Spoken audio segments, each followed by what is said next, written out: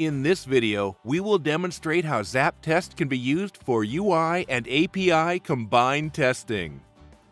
In this test example, we will define steps to perform a user's login to our website.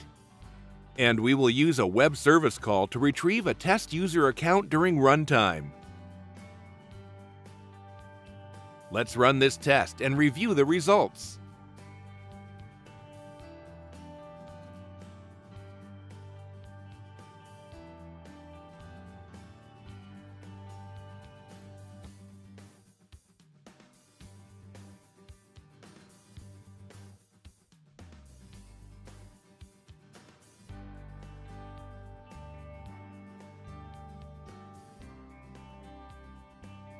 The user account value was successfully retrieved in this API step and used in the sequential UI step.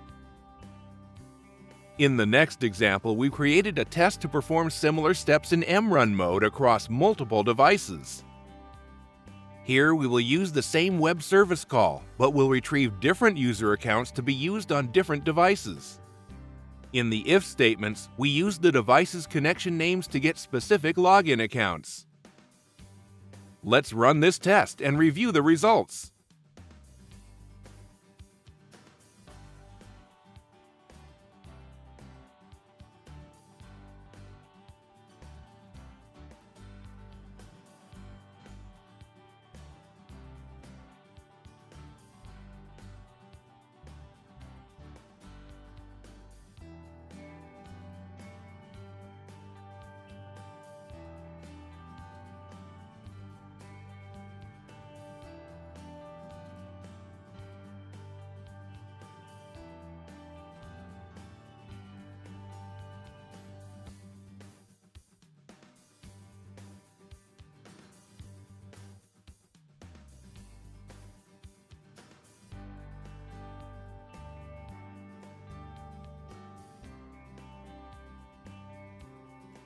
ZapTest has retrieved and used unique user IDs on each device.